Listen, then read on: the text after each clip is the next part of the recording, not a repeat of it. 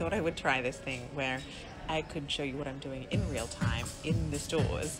Um, and I'm looking for something else, but I'm just Forever New and I found these really um, well cut kimono. You can call them a kimono, you can call them a duster jacket, you can call them like a long line sheer jacket. But in summer, and also if you're not wanting to show your arms or um, you want a layer but you don't want the heat of a coat or you don't want the bulk of something else, something like this.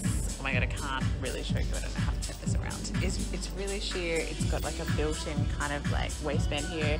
It's got a skinny sleeve that is key so that you don't feel like there's volume. And it comes in black. This is totally not my color. I would never wear mustard, but it is cool. Um, and it's beautiful. It looks much more expensive than it is. And you could throw it over like a singlet and jeans, or you could also do it over like a satin slip dress. You could do it over a pair of denim shorts and a t-shirt in summer just to dress it up. Um, anyway, I'm just trying this new thing where I'm doing lives as I do things. I don't even, this is reflected in the mirror. So this is me close up. This is much better. So it's, it's further away. So that's why, I, oh, do I look at you like this? Can you see me like this? Anyway, I just thought I'd show you like, so here, come, come this way.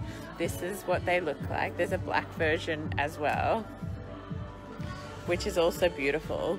And there's also this little zebra print one, which again is really pretty. It's got the little piping on the edge. Um, anyway, I'm just gonna go back here so I can feel like I can kind of talk to you and you can see my face. Anyway, so this is a nice length as well. It's not floor length. It doesn't stop at that kind of mid um, thigh spot, which often makes you look shorter and a bit boxy. And it doesn't have these big, long, like wide sleeves, which adds volume as well. So that's just some key things to remember. This has also got a really nice vertical line. Like it's just unfussy, even though it's kind of got all this beautiful lace detail. Anyway, I'll pop in the link anyway. It's totally not my color, but I have a couple of clients, a couple of clients coming up, and I know that it will work beautifully. So uh, I'll put the link in below. It's just at Forever New. It's one of their lace kimonos. Okay, this is my new stuff. Hi, bye.